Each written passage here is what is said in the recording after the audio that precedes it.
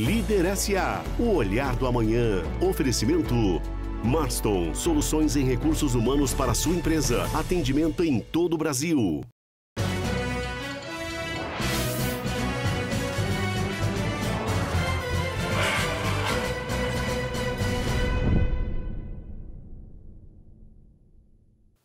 Oi, pessoal! Obrigado pela especial audiência de vocês aqui no nosso Líder SA, que a pauta é empreendedorismo, inovação e liderança. Mas, acima de tudo, tornar sua carreira, sua empresa e suas habilidades ao liderar um grande sucesso pessoal e profissional.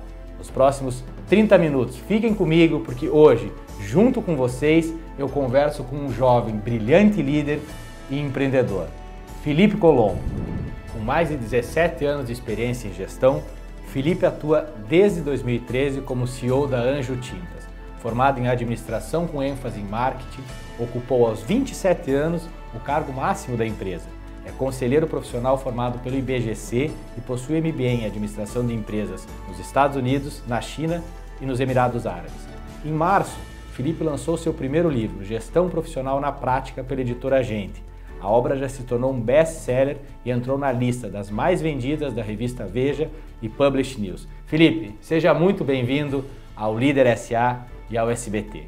Olá, Ricardo, tudo bem? Eu que agradeço, é uma honra minha participar desse programa e muito obrigado pelo convite. A honra é toda nossa. Felipe, para a gente começar essa nossa conversa, eu quero que você traga para o nosso telespectador e para a nossa telespectadora essa sua trajetória que foi aparentemente muito rápida, mas na verdade não é bem assim, né, Felipe? É uma trajetória construída por muito trabalho dentro da companhia que o teu pai fundou. Conta pra gente como foi esse seu trajeto até chegar ao cargo de principal executivo, com 27 anos somente, à época, na Anjo Tintas. Como muita gente costuma falar, o sucesso da noite para o dia levou muitos anos, né? Então faz 17 anos que eu estou na, na Anjo, nos últimos oito como, como CEO, diretor-presidente. Mas a, a minha história começou muito lá atrás, quando eu decidi ser empresário, né?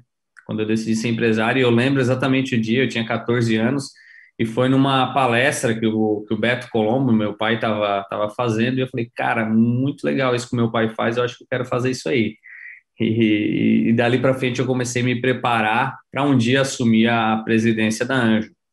Então, de lá para cá, muitas coisas passaram, mas a minha história com a Anjo, ela meio que se confunde, porque o, o, Beto, ele fundou a Anjo no dia que eu nasci, no mesmo dia que eu nasci, 27 de fevereiro, ele deu a notícia para minha mãe, nesse dia ela estava no hospital com um bebê recém-nascido e recebeu a notícia que ele estava saindo do emprego atual de vendedor de uma loja de tintas automotivas e ia empreender para montar uma, uma fábrica de massa plásticas automotivas. E dali para frente a minha história acabou se confundindo, mas foi com 17 para 18 anos que eu realmente entrei efetivamente para a empresa de, de forma é, profissional. De lá para cá eu, eu, fiquei durante quatro anos num, num processo de trainee dentro da empresa, passando por todos os setores. Então eu comecei trabalhando na carga e descarga, depois produção, estoquista, expedição, é, depois de expedição fui para laboratórios, e aí depois fui para a área de escritórios também, RH, controladoria, custos, finanças, logística, suprimentos. Fui passando por todas as áreas da empresa durante quatro anos, Ricardo. E quando eu me formei, porque eu trabalhava durante, eu trabalhava durante o dia, cumpria o, a carga horária da empresa, e à noite, então, eu ia para a faculdade. Final de 2018 me formei, em administração com ênfase em marketing, e então surgiu a possibilidade de eu estar viajando. E como a Anja é uma empresa muito focada na área comercial, é, na época, o meu treinamento na área comercial foi o seguinte: eu ficava 21 dias viajando em campo com nossos representantes, eu piquei o Brasil todo, do, norte ao sul, leste oeste, é, viajei naqueles barquinhos com, com rede, cara, fiz fiz de tudo. E aí eu fiquei durante sete meses, 21 dias é, viajando é, com, com, os nossos representantes, visitando clientes e atendendo os clientes, e sete dias na empresa. 21 dias viajando, sete dias na empresa. Fiz isso durante sete meses, e aí depois desse período foi que eu assumi a minha primeira função na Anjo. e essa função foi a de supervisor administrativo de vendas. E aí nós tínhamos uma equipe de oito pessoas, oito auxiliares, eu tinha uma equipe de oito auxiliares, que nós dávamos suportes para os 100 representantes comerciais e para os seis gerentes comerciais. Recebíamos todos os pedidos, processávamos, olhávamos para ver como é que estava, estava tudo de acordo com a política comercial e passava para produção e expedição. Depois de dois anos ali, surgiu uma oportunidade, fui fazer um MBA, um mestrado, que eu cursei nos Estados Unidos, China e Dubai. E quando eu voltei com 26 anos, eu, para minha surpresa, eu fui promovido a diretor de marketing e inovação. E um ano após assumir a diretoria de marketing e inovação, nós fizemos a sucessão na Anjo. E aí, com 27 anos, muito antes do que eu imaginava, acabei assumindo a, a cadeira de, de CEO, de diretor-presidente da nossa empresa. Bom, já deu para ver que Beto Colombo não deu moleza e não apadrinhou. Isso é muito importante que nós sabemos os grandes desafios de sucessão que existem nas companhias, até para não passar essa sensação para o colaborador e também, naturalmente, quando um familiar chega à principal cadeira de executivo, ele tenha a solidez de conhecimento para poder conduzir a operação. E me parece que você tem feito isso muito bem, né, Felipe? É, nos últimos cinco anos, a Anjo vem num crescimento exponencial. Conta pra gente como vem acontecendo essa sua gestão e esse crescimento tão acentuado, aí me parece que é acima de 600% nos últimos cinco anos. Desde 1999, nós iniciamos um processo de profissionalização da nossa gestão. Então, apesar da, da Anjo ser uma empresa de sociedade limitada, familiar, é, ela é uma empresa que lá em 1999 nós começamos o nosso processo de profissionalização. E de lá para cá a gente vem montando uma equipe muito boa. Então, quando eu assumi em, em 2013 a cadeira de presidente, nós já tínhamos uma equipe muito preparada e muito, muito bem estruturada, um processo de gestão muito legal. É, o que nós fizemos nos últimos cinco anos foi acelerar bastante esse processo de, de crescimento da empresa, porque a empresa já estava com uma base muito sólida. Então, com base num tripé de que, que eu falo muito no, no livro que eu, que eu lancei, que é gestão de pessoas, vendas e gestão de indicadores, nós conseguimos crescer nos últimos anos mais de 685%. O mercado de tintas é, Felipe, ele transparece de certa forma ser mais tradicional, né? E li o seu livro, já fiquei um admirador do teu trabalho, nós vamos falar daqui a pouquinho sobre ele, mas é, quais são os desafios de você trazer a reinvenção através das pessoas, através da inovação, num mercado que, em princípio, é uma indústria química, que é um produto relativamente tradicional no mercado? É, o, o, desafio é justamente mudar esse mindset que vem há, há bastante tempo no nosso segmento, né? Como tu falou, é um segmento tradicional.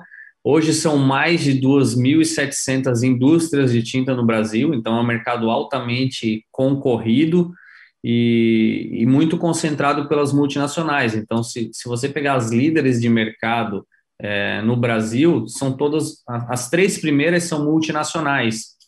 Então, é um mercado extremamente concorrido, com muitas empresas é, pequenas embaixo e, e, as multinacionais em cima. Então, nós estávamos ali naquele meio, na, naquele turbilhão.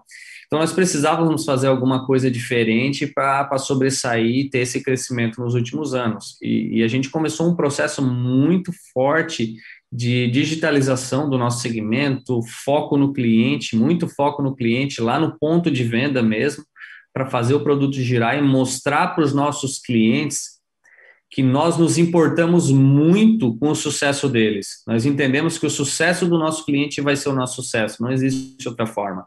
Então, muito mais do que uma relação de, de fornecedor e cliente, a forma como nós atuamos é muito mais uma forma de parceria e que nós estamos ao lado do nosso cliente, pensando muito em como fazer com que o negócio dele dê certo. Porque se o negócio dele der certo, o nosso negócio, como consequência, também vai dar certo. Para o nosso telespectador, Felipe, tem uma referência, os concorrentes, como você citou, multinacionais, por exemplo, são marcas que controlam marcas de tinta, por exemplo, como a BASF, já tive com o Lacerda aqui no programa, então realmente é uma concorrência que vem muito forte, muito pesada e vem um crescimento exponencial é, de uma empresa como a Anjo familiar e com um líder tão jovem à frente, hoje com 34 anos, é realmente muito legal. Inclusive, lendo o seu livro, que está aqui na, na nossa bancada Gestão Profissional na Prática. Recomendo a todas e todos que estão nos assistindo, que é uma leitura excepcional. Você fala muito em aprender com a insatisfação do cliente. Conta para o nosso telespectador que está lá na ponta, que tem o seu negócio, às vezes um pequeno negócio, não uma indústria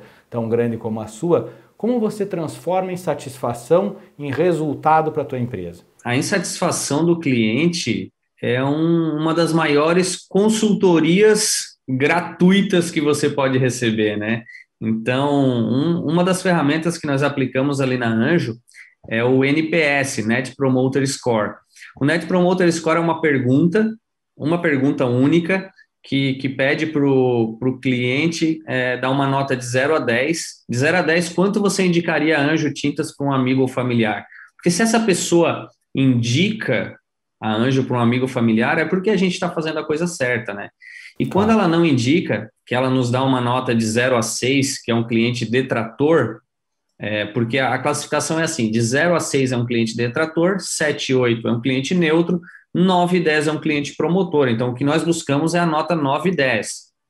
É, quando um cliente dá uma nota abaixo de 6, ele tem a possibilidade de escrever por que, que ele deu essa nota abaixo de 6. E como eu falei, é uma consultoria que esse cliente está dando para nós, muita gente fala, pô, esse cliente é um chato, está reclamando. Nós na Anjo entendemos pelo contrário, fala, cara, se esse cliente está reclamando, é porque ele gosta da Anjo e ele quer que nós melhoramos o serviço, porque quem é o cliente que gosta de reclamar? Quando a gente vê lá no NPS um cliente reclamando da logística, nós vamos lá entender o que está acontecendo com aquele cliente, com a logística daquele cliente e tomamos medidas é, para solucionar aquele caso. E isso faz com que a gente tome medidas para melhorar frete, melhorar política comercial, campanhas de marketing, política de pricing também. Então, a reclamação do cliente é uma ótima fonte de informação para que você melhore o seu negócio. E nós entendemos dessa forma, né, Anjo?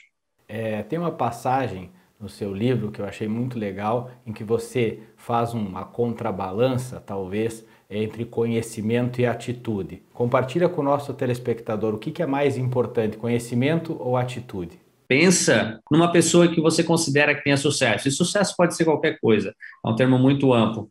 E se eu pedir para listar três características e classificar elas como conhecimento, habilidade ou atitude, eu tenho certeza que mais de 70% das características citadas são relativos a atitudes.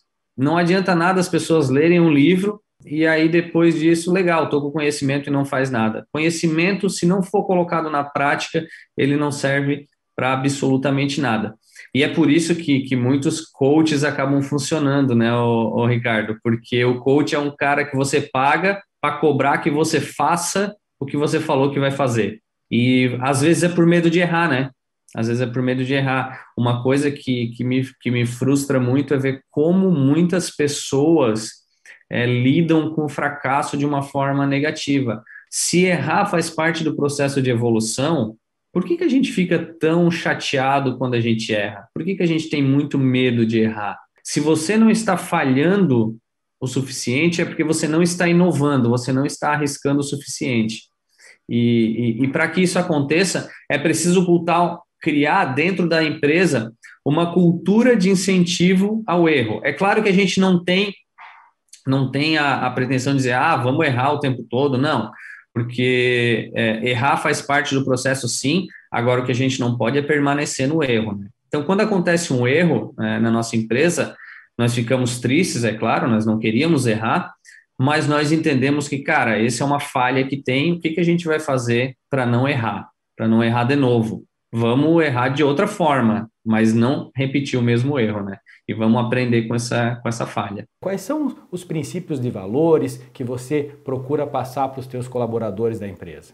Os princípios da, da Anjo, nós temos nove, nove princípios, nove valores que guiam toda, toda, a nossa, toda a nossa gestão, toda a tomada de decisão dentro da empresa. Semanalmente, nós temos uma reunião de diretoria, onde os diretores se reúnem para para conversar sobre o que aconteceu na semana anterior e para tomar decisões em conjunto, porque nós acreditamos sim que, que o coletivo é muito mais forte do que o individual e, e que, e que a gente precisa tomar decisões em, em colegiado, porque essa, essa história de que é preciso um, um, super CEO, um super diretor, eu não acredito nisso. Eu trabalho cada dia mais forte para que a Anjo não dependa de mim. Ou seja, eu quero ser um cara que seja dispensável, que a empresa não precise do Felipe para tocar, porque só assim eu vou ter uma equipe muito forte. E hoje nós temos uma equipe, hoje eu posso dizer que eu posso tirar 30, 60 dias de férias que a empresa vai rodar muito bem, talvez até melhor do que enquanto eu esteja lá. É, mas nós temos uma equipe muito boa, realmente. Nosso grande diferencial é a nossa equipe. Então, o que, o que eu trouxe um pouquinho com a, com a, com a vinda do Felipe foi justamente criar uma dinâmica um pouco mais rápida na tomada de decisão dentro da Anjo. Então, por mais que nós temos uma, uma, uma empresa grande hoje, com mais de 60 milhões de litros de produto, com, com faturamento super expressivo, mais de 450 é, funcionários diretos, 80 representantes comerciais, nós tentamos ter uma estrutura muito rápida, ágil e flexível para que a gente consiga tomar o máximo de decisões o mais rápido possível.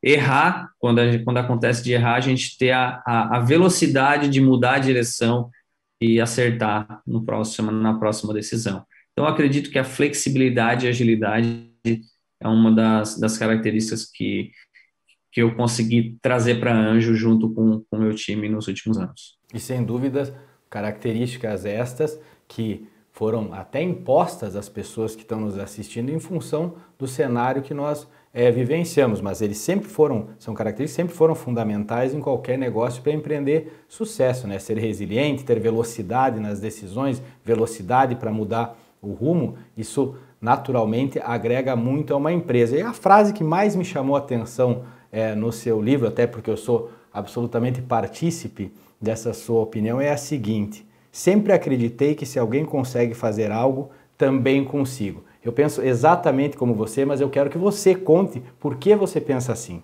Cara, eu sou eu sou um cara muito, vamos dizer assim, muito teimoso, né? Então, quando eu vejo alguém fazer alguma coisa e se eu ponho na minha cabeça que eu vou fazer, eu sempre falo, cara, se essa pessoa consegue fazer, eu também consigo. E aí eu tenho uma disciplina muito forte. Eu sou muito disciplinado com, com as minhas metas, os meus objetivos. Quando eu, quando eu traço uma meta, um objetivo, eu trabalho muito para que essa meta aconteça.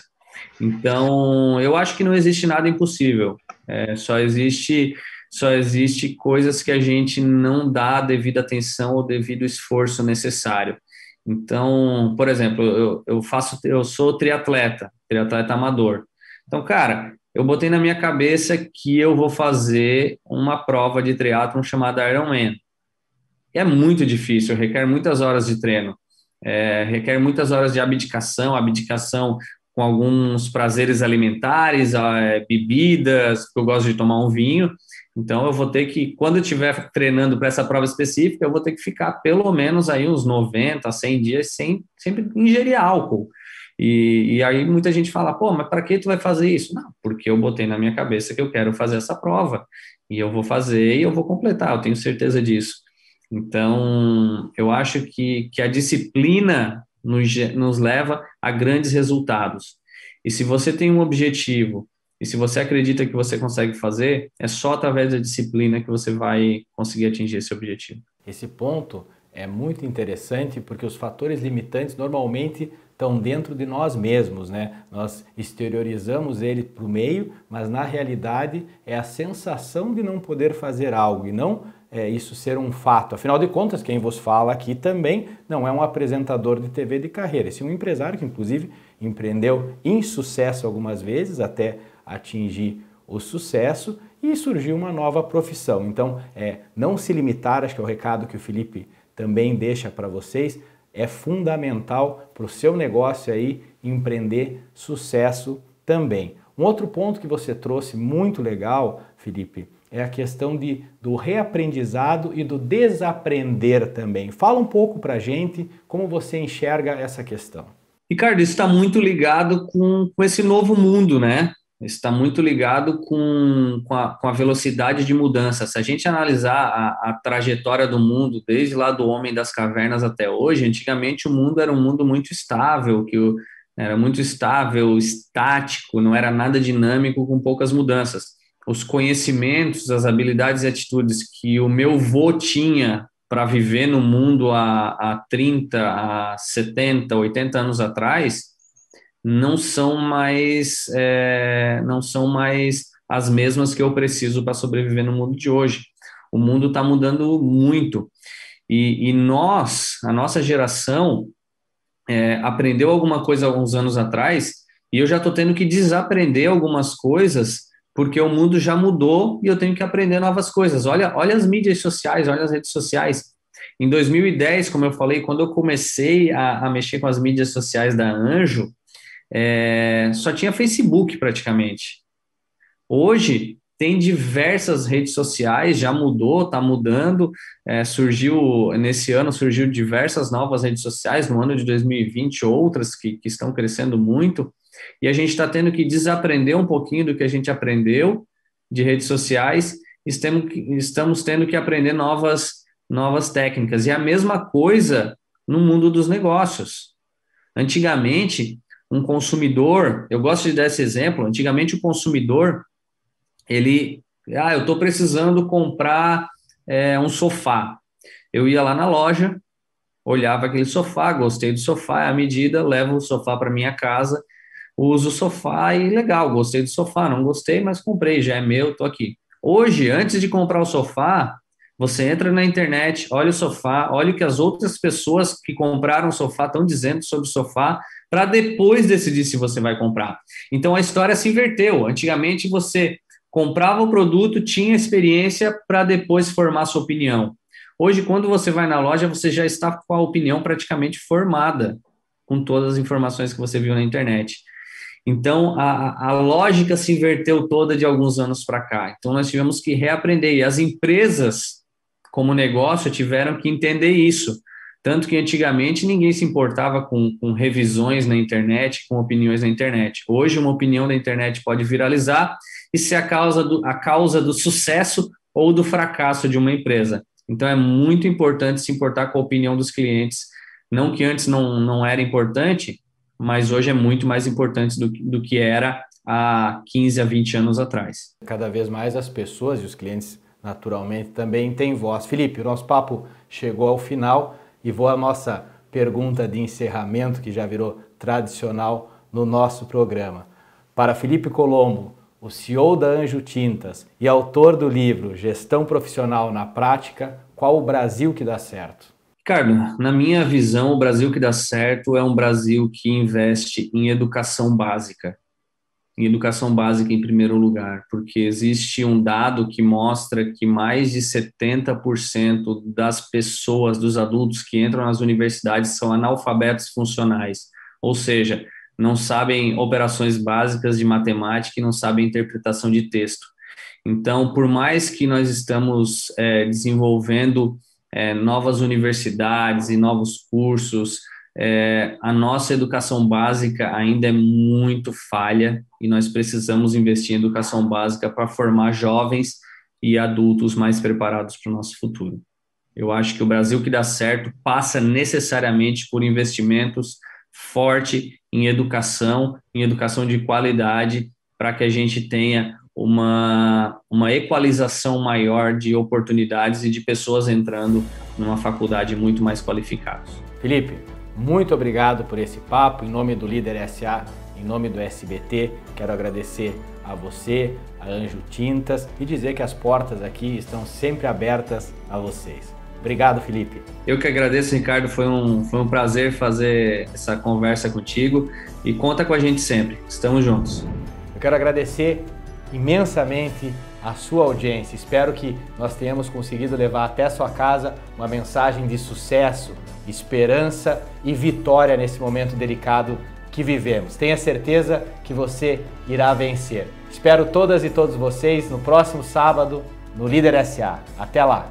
Líder SA, o olhar do amanhã. Oferecimento Marston, soluções em recursos humanos para sua empresa. Atendimento em todo o Brasil.